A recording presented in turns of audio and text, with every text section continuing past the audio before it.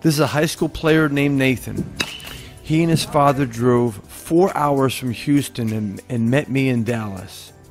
Anytime someone drives a long distance to work with me, I'm always humbled by their trust.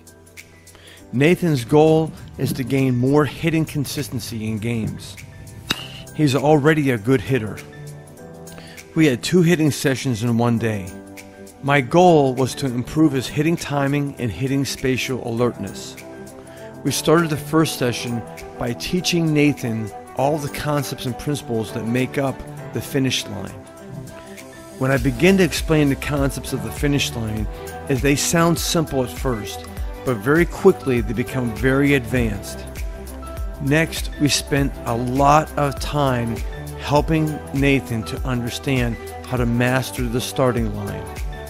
Nathan learned how important it is to time your vision and to time the transition, how you go from watching the pitcher to watching the ball.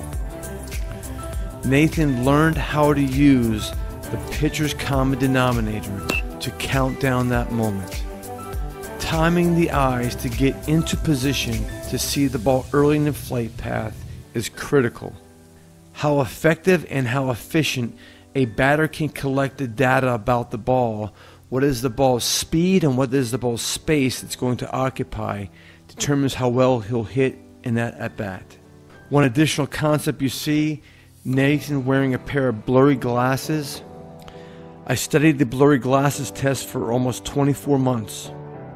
The purpose of the blurry glasses is to help the hitter to identify a different hitting mentality. A mentality that says you hardly have to watch the ball.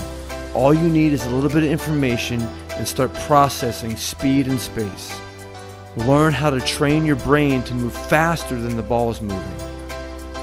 I'm Dave Kirilloff, languageofhitting.com.